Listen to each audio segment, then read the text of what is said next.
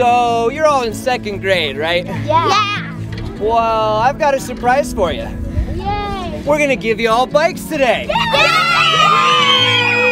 So today we're partnering with Wish for Wheels, um, and they are providing 81 bikes for our second graders. This is huge for them. We believe in sharpening the saw, which means you take care of your mind, body, and soul. So with these bikes, the kids will be able to take care of their body and ride around their neighborhood.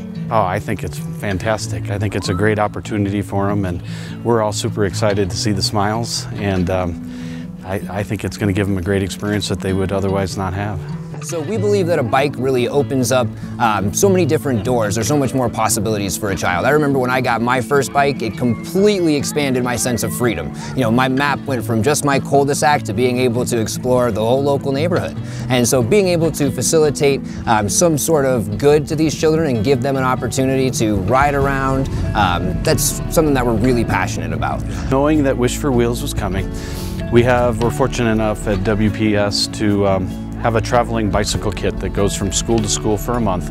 And the kids have been working on bicycle safety with uh, helmets and working on their balance. And uh, they've taught me the best way to teach kids to ride a bike that don't know how. And uh, that is by not using training wheels, but taking the pedals off and having the kids walk with their bike and glide with their feet so they get that equilibrium and sense of balance. And we've been doing just that, and we'll see, but I think we've got 80, 90% of the kids in level two that can, can ride bikes.